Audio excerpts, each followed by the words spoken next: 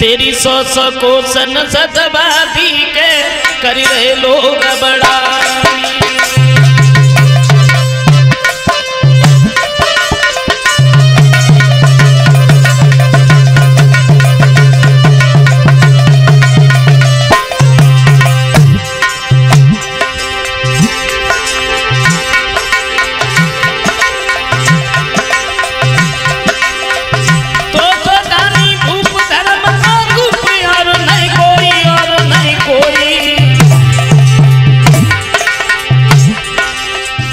तेरी सौ सौ पोषण के कर रहे लोग बड़ाई।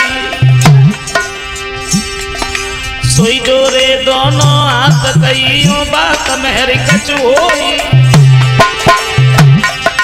तुम जो मांगो महाराज दिए हम सोई।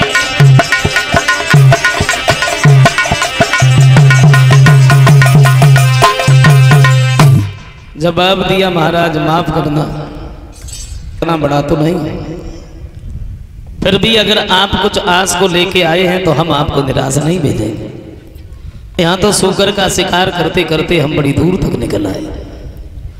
यहाँ पर तो मेरे पास में कुछ भी नहीं है। आप हमारे साथ घर पर चलो। आप जो बताएँगे, हम आपको दे देंगे। विश्वामित्र जी कहते हैं, इसका मतलब ये है, तुम ये सोच रहे हो कि हमें धन दौलत की ज़रूरत है? अरे नहीं। और फिर खजाने का मालिक जिस जगह पर होता है, खजाना तो उसके साथ नहीं होता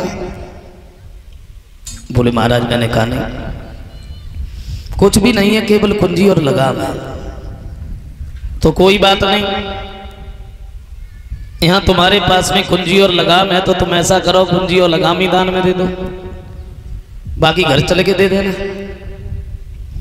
लेकिन एक बात है हमारे संकल्प की पढ़ाई की दक्षिणा साठ बार सोना है।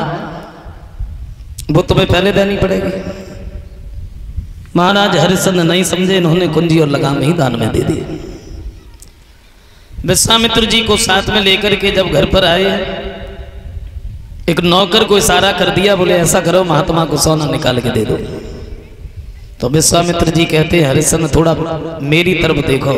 आज्ञा कैसे दे रहे हो?